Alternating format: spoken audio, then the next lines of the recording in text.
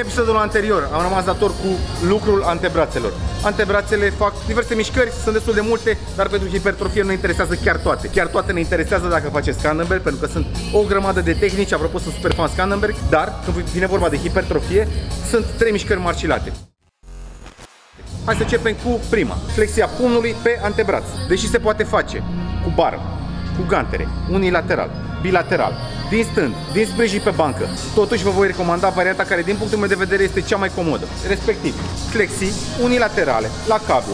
Deci ne luăm niște distanță față de cablu, ne blocăm fie cotul, fie încheietura pumnului și fixăm pumnul pe antebraț.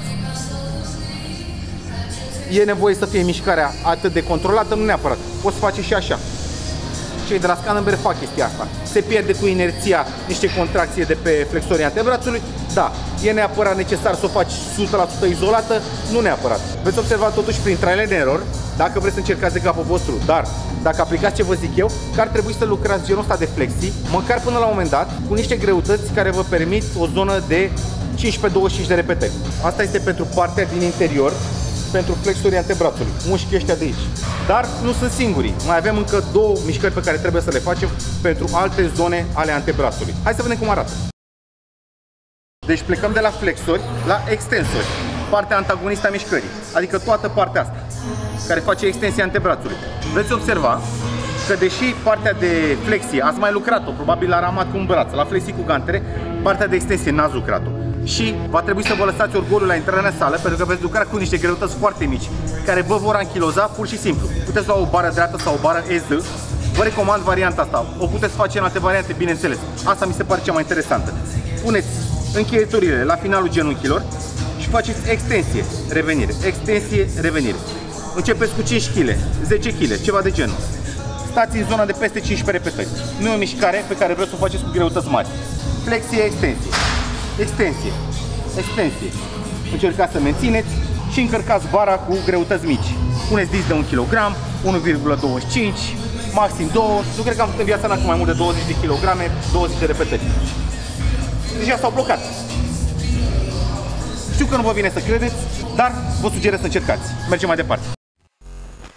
Apropo, nu vă recomand să începeți un antrenament cu antebrațul decât dacă cine știe pentru ce vă pregătiți adiacent culturismului. Dar dacă o să faci antebraț înainte de biceps, nu o să mai meargă bicepsul, așa cum dacă faci biceps înainte de spate, nu o să mai meargă spatele, așa cum dacă ai face triceps înainte de piept, nu o să mai meargă pieptul. Deci, nu începeți antrenamentul cu antebrațe. Vă recomand să le antrenați, dacă vreți să progresați, după fiecare antrenament de biceps și de spate. De două ori pe săptămână ar fi ok, le puteți lucra mai des, bineînțeles. Antebrațul sunt foarte, foarte slabe șansele să se supraantreneze. Deci, am făcut flexori, am făcut extensori și ne mai trebuie brachioradial, respectiv mușchiul ăsta.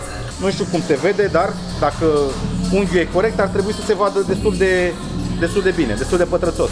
Îl putem lucra la cablu, îl putem lucra cu ganter, îl putem lucra în diverse variante, la funie, dar mișcarea e în felul următor. Flexie ciocan. Acum, partea interesantă e următoarea. El începe să lucreze disproporționat de mult, undeva de la jumătatea mișcării în sus. Nu zic să faceți doar jumătatea asta mișcări. Vă zic doar ca să știți că partea asta e mai importantă decât partea asta. Când vine vorba de brachioradial. Așa, reușiți să-l targetăm mai bine. Nu înseamnă că la o flexie, în supinație, el nu lucrează, pentru că lucrează. Dar, așa, reușiți să le implicăm mai mult în efort.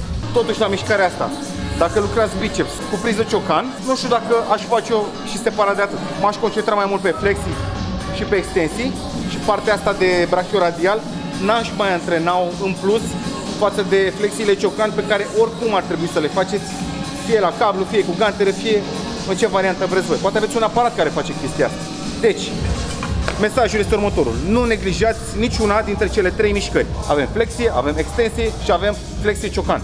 Toate trei contribuie la hipertrofia antebrațului. El mai face și supinație, face și pronație, dar chestiile astea nu contribuie atât de mult la hipertrofia antebrațului, la masa musculară. Sunt și alți mușchi, la nivelul antebrațului sunt vreo 20 ceva de mușchi. Nu ne interesează chiar toți. Pentru suplimentele, echipamentele și accesoriile pe care le folosesc și le recomand de ani de zile. Aveți Jim Beam, cod de reducere Marius 5, valabil internațional. Transportul este gratuit la comenzi de peste 150 de lei. Puteți plăti atât ramburs cât și cu cardul, iar livrarea se face în 24 de ore. Jim Beam este imbatabil din punct de vedere calitate-preț, iar prețurile sunt scăzute tot timpul anului, încât cred că toată lumea și le permite. Și apropo de raportul calitate-preț, toate parteneriatele mele sunt cu branduri care au acest raport cât se poate de bun, cel mai bun pe care l-am găsit. În descrierea de mai jos aveți coduri și linkuri către brandurile cu care mai colaborez, respectiv SX, Aivia și Sport Vision. Nu uitați să dați un subscribe, un like, un comment, un share, activați notificările și să ne vedem cu bine la episoadele următoare. Nu înainte să dați click pe unul dintre videourile astea două, pentru că YouTube a decis, a considerat și a poruncit că sunt interesante pentru voi. Nu dezamăgiți YouTube, dați click. Baftă!